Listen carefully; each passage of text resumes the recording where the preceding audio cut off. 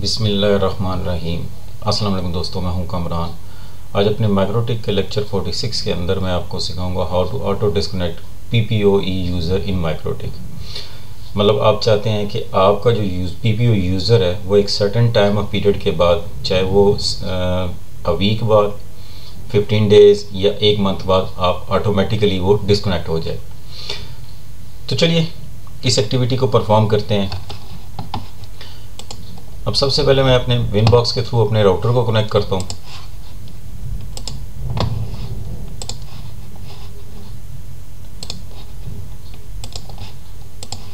यहाँ मैं जूम कर लेता हूँ और आपको पहले दिखा देता हूँ कुछ चीज़ें।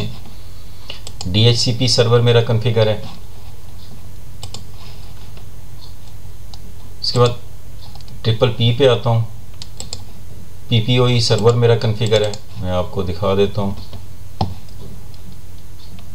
ये interface ether five ether five as a मैं लैन के तौर पे यूज़ कर रहा हूँ। प्रोफाइल्स मैंने कुछ बनाई हैं one M B two M B उसके बाद सीक्रेट पे मैंने कुछ यूज़र बनाए हुए हैं।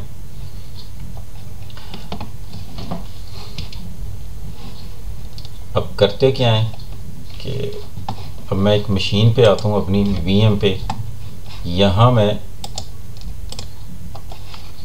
इस कमरान यूज़र को कनेक्ट करता हूँ डायल अप बना के।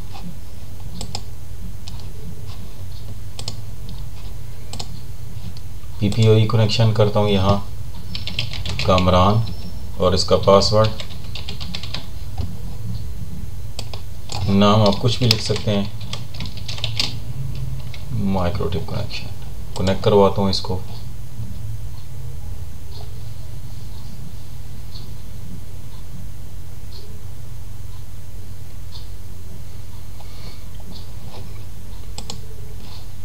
कनेक्टेड हो गया। ये मेरा यूज़र कनेक्ट हो गया। C M D I P config इसको स्कूल में से इसको एक आई पी मिल गया।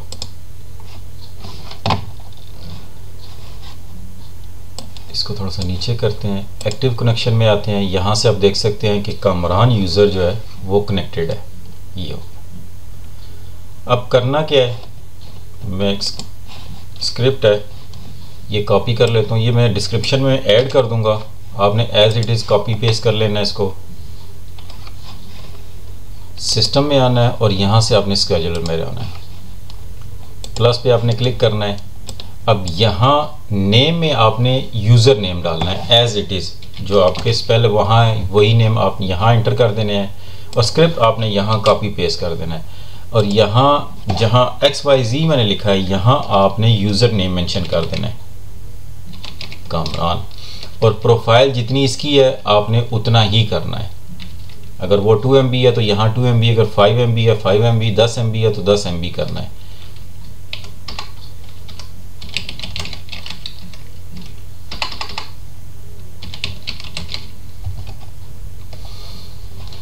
मैं अभी फ़िलहाल इसको यहाँ से अप्लाई करता हूँ।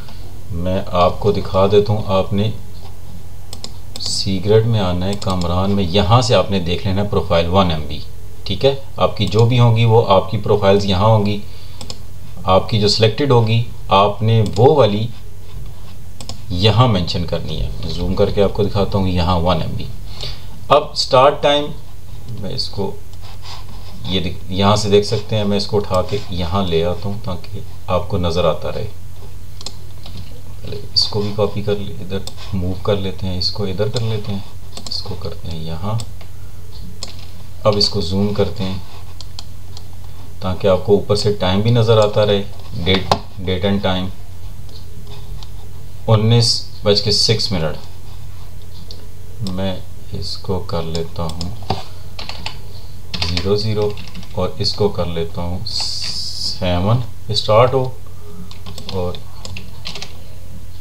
सेवन पे ही ख़त्म हो। अप्लाई करके ओके कर देता हूँ। अब उन्नीस सात पे जो है ना, ये इसको डिस्कनेक्ट कर देगा।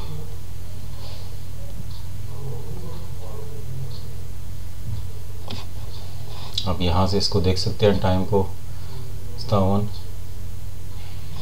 यहाँ से देख लें, कमरान ऑटो डिसेबल हो गया।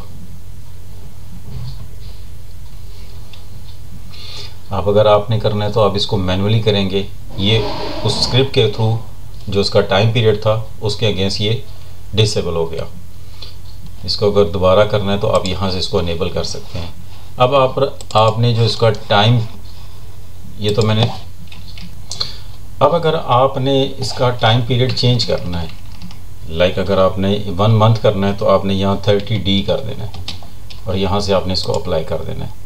अब क्या होगा कि थर्टी डेज़ के बाद जैसे ही इस टाइम पे आएगा तो यहाँ से टाइम और डेट जैसी मैच होंगे तो ये ऑटो इसको डिस्कनेक्ट कर देगा।